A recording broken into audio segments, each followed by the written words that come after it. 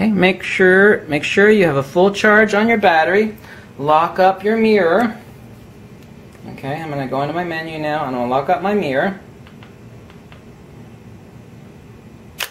My mirror is locked up, my sensor is exposed. I'm going to start talking out of the corner of my mouth. What you want to do first, okay, I'll talk during this, but I won't talk during the sensor cleaning, but I'll talk afterwards.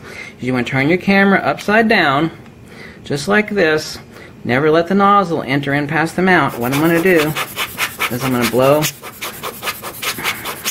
all the fuzz balls off of my sensor. Now there might be oil spots and I might not get them. Now I'm going to take my cleaned previously cleaned magnifying glass. Okay? And then what I'm going to do is I'm going to look in here at my sensor. Okay? I still see the dirty spots that I see from when I did my test shot beforehand. Uh, might be a little oil streak right there. You tilt my headlamp up and look at the other side. There's no need to buy a $40 sensor uh, loupe to do this. I am using a very cleaned magnifying glass and I can still see the spots and smudges on there that are creating the image the image defects on my pictures taken okay now I'm not going to talk during this next part but I'll tell you what I'm doing afterwards okay I'm going to put a couple drops remember I only tear up my sensor uh, sensor uh, cleaning paddle I got the appropriate size, which is for full frame sensor. Okay. I never ever touch this, ever, and you only use it once. I'm going to put three drops on the end of the paddle. And then I'm going to actually swipe, bend the stick, and then I'm going to reverse it and turn around and swipe again, just as someone else mentioned mowing the lawn. It's a perfect analogy. So I'm going to press down, not very hard, but enough to bend the stick about yay much and then I'm going to go from one side of the sensor, never letting up, turn around, other side. Okay, so I'm going to do that now. Then I'll be quiet and you can just watch.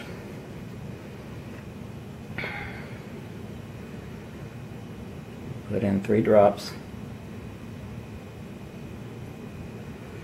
Okay, perfect.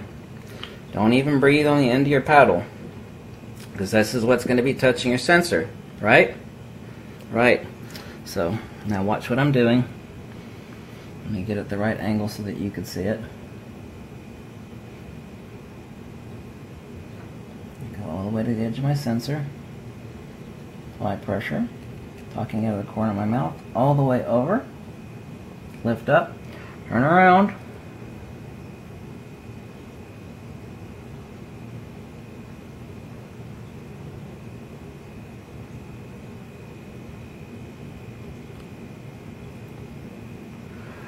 Okay, I'm going to put that back in its little sleeve, even though I'm not going to use it again. Because you never want to do that. Now I'm going to blow off again. Because I think I liberated some dust. I'm just turning my DSLR mostly upside down. I'm going to take a look with my magnifying glass. Hold on while I'm quiet for a second.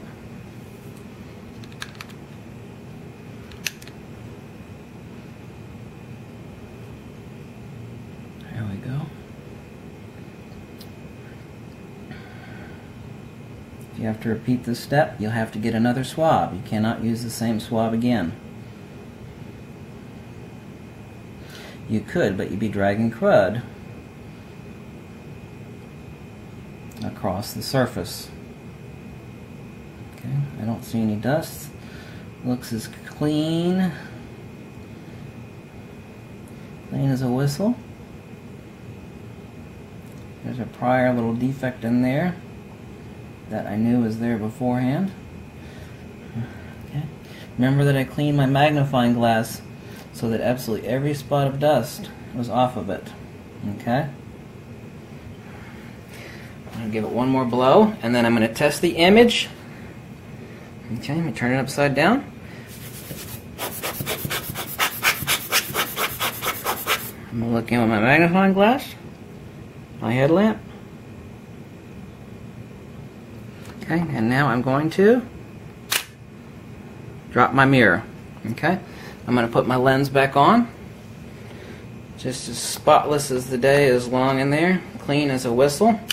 Now, what you need to do on uh, checking is bring up a white screen on Google. This is the easiest thing. Just type in white image, okay? Bring it up on your monitor. If your monitor isn't big enough, your wall probably has defects in it. So find a large sheet of paper or something. Throw uh, the lens into manual focus, okay? Take it out of automatic. Put your camera in manual.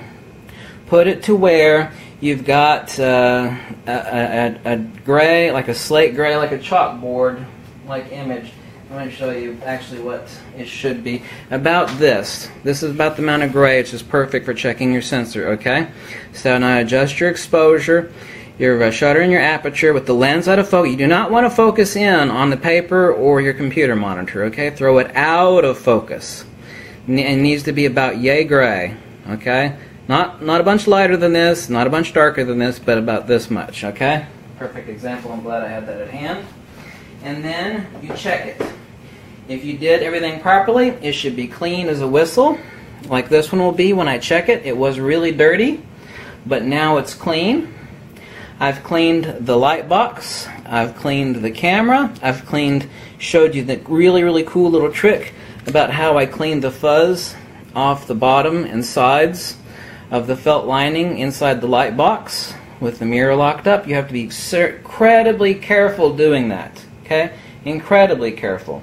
So I showed you how to do that. But before you did all of that, I showed you before about wiping your camera down.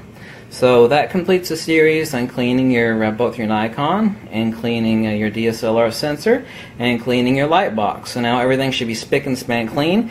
And do not ever forget this again. Clean your rear caps and your body caps meticulously.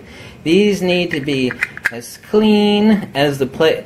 Well, actually, your plate is probably pretty. It need to be insanely clean. Always keep this very clean because these is this is what migrates to your sensor. It goes from there, falls into your light box, and onto the sensor or the body, uh, the rear lens cap.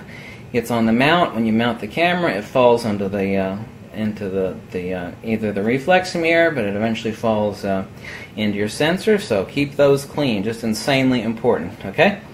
So thanks for watching, and uh, catch you later.